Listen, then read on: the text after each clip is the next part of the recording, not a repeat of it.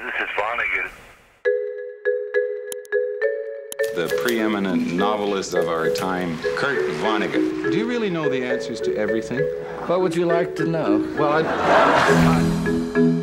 He's been the most profound influence in my life. I think he's the funniest person alive.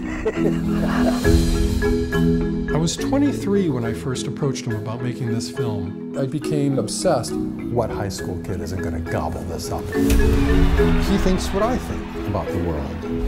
Then there was a letter. Dear Robert Weide. Holy crap, it's him. I was always filming on and off with him over the years, just thinking, you know, I'll figure this out later. Are we going? Yeah, yeah. We would talk about almost anything. Now, what are my books about?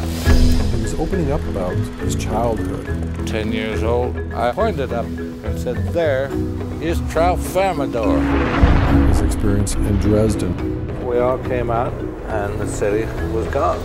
They become friends. If you find your life tangled up with somebody else's, that person may be a member of your karass. But no matter how much time I put in, I never finished the film. Hi, Bob. I look forward to seeing you on Thursday.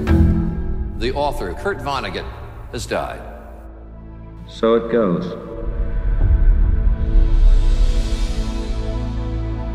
Kurt told me once, we don't understand the first thing about time. This is how he experienced life. When you take almost 40 years to make a film, you owe some kind of an explanation.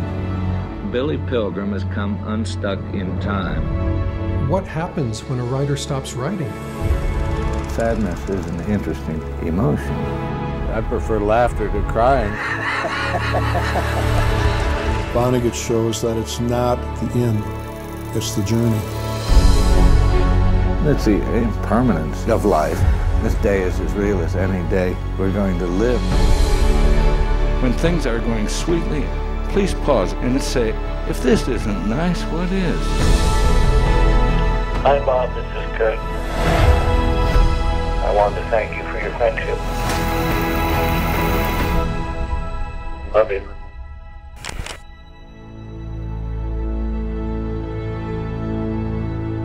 Can you just do that line one more time? Up your ass. What the, what do you